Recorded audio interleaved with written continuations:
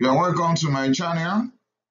Without wasting your time, I'll go straight into the topic of the day, which is how to make diagnosis of carbon monoxide poisoning. In other words, how can we know that this man or this woman has inhaled carbon monoxide and that is why he or she has come down with so, so, so and so signs and symptoms?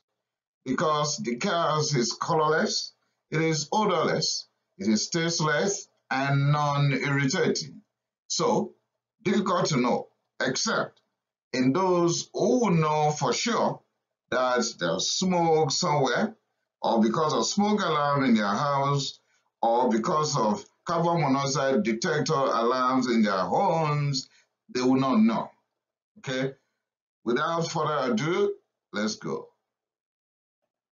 There's a separate full presentation on carbon monoxide poisoning already published by me. Clicking on this link will take you there.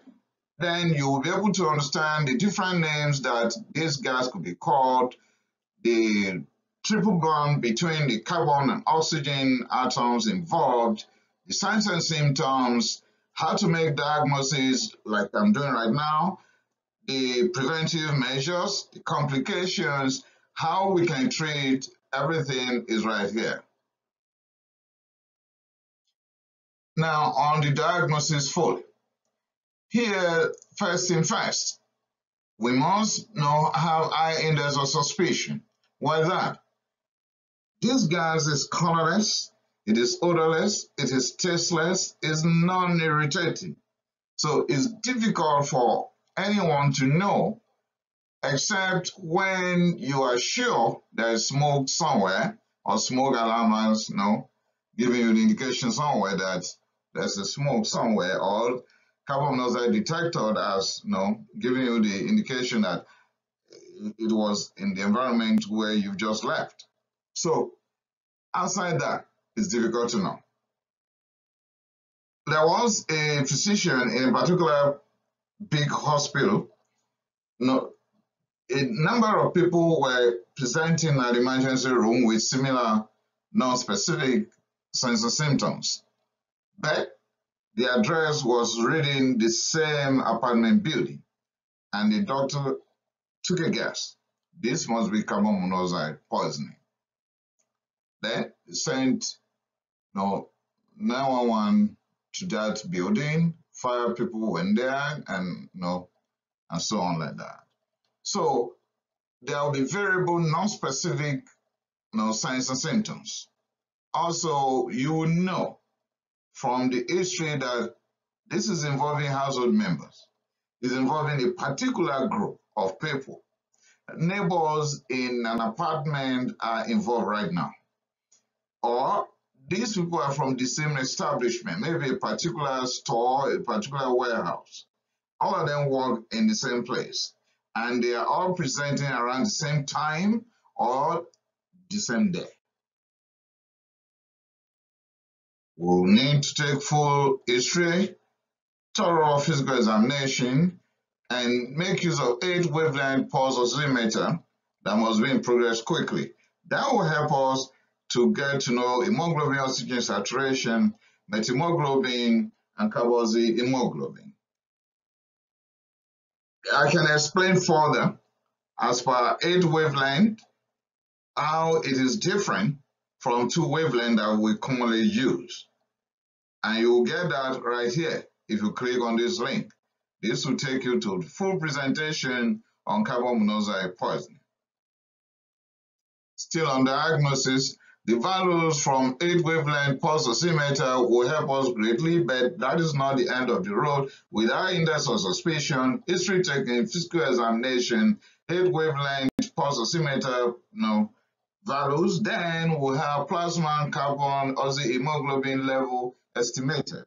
In the past, that was the gold standard. In fact, many people will use only that to make you know, up their mind on what to do.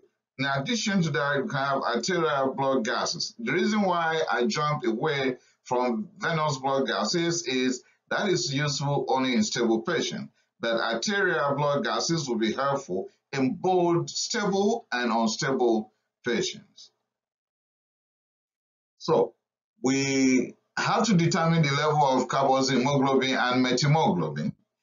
The carboxyhemoglobin normal level in non-smokers is 3%. When it is greater than 3% in non-smokers, that is carbon monoxide poisoning. In the smokers, the values between 10 to 15% is still tolerable to them. They could cope with that. Once it is greater than 15% in smokers, that is carbon monoxide poisoning. Then we call for toxicology screening. The value of carboxyhemoglobin is just to know that this individual has been exposed to carbon monoxide. It is not the determinant of severity or toxicity. In fact, it might be negative if the individual had you know, gotten out of that exposure for a long time, or know, the protocol at the center where he or she has presented is such that once O2 is taken and is at this level, just give oxygen. So if oxygen has been given, or it's been a while after the exposure and you, you've left the area of exposure, you've been exposed to atmospheric oxygen for a long time, you may not get the you know, value of carbon or that will be threatening anymore. The treatment and progress or prognosis is based on signs and symptoms, not necessarily the value of carboxy hemoglobin. Now, we can use venous blood gas to monitor carboxy hemoglobin level while the individual is already on the treatment. If it is fire incidence and you are contemplating on giving hydroxocobalamin to reverse the cyanide effect because in smoke inhalation, you are likely going to get both the cyanide and carbon monoxide at the same time, and they have synergistic effect. If you want to reverse the cyanide effect, then make sure the sample is already taken for your you know, uh, parameters before administering hydroxocobalamin. Hemoglobin-bound oxygen will be drastically reduced in the face of carboxyhemoglobin presence. You can have immediate EKG and cardiac enzymes done. Why that? We want to know the effect of this carbon monoxide poisoning on the heart. In my full presentation, I've stated there that two organs will pay more price for carbon monoxide poisoning. All organs will be affected in the body, for sure. But the heart and the brain will pay more or they will suffer more. So EKG and cardiac enzymes to find out what is happening to the heart. And of course, you can embark on CT, MRI, or PET to know how much the brain or the central nervous system has been damaged. And when you do that, you are likely going to pick globus pallidus hemorrhagic infarction or deep white matter hemorrhagic infarction. You can have renal function test done, creatinine kinase urinalysis for protein to rule out rhabdomyolysis. Hepatic failure can be established or ruled out with liver function test, and there might be mild leukocytosis, then you have complete blood count down.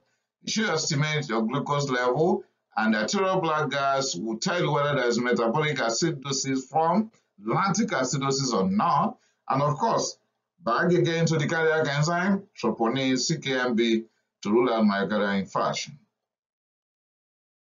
Now, in pediatric age group is a bit different because older children will be able to tell you that they are feeling this way or not, and they will develop symptoms just like adults. The younger children, the story will be a bit different. They will not be able to tell you they are feeling this way or not. Then they, the younger children, will start some symptoms earlier than adults in the same environment. Okay, like they are in the same house. It's the children there that will present in the hospital earlier than the adults. If the parents will take them to the hospital immediately, anyways. So in younger children, they will develop fussiness, feeding difficulty, and so on. Then in children, delayed neurological sequelae is less of a problem compared to adults. With that, I've come to the end of this short presentation on how to make diagnosis of carbon monoxide poisoning. First thing first, eye index of suspicion. Everybody in that group from the same apartment, the same house, the same family, the same study group, the same uh, set of people working in the same establishment, in store or warehouse, anywhere, something close to them, not involved in exposure at the same time, presenting at the clinic or hospital at the same time with similar signs and symptoms will give us clue. This is likely carbon monoxide poisoning. Thanks for listening. Remember to share, share this with everyone. Run away from anything that can expose you to carbon monoxide. The danger is really, really great. I appreciate listening. Share with everyone. Thank you.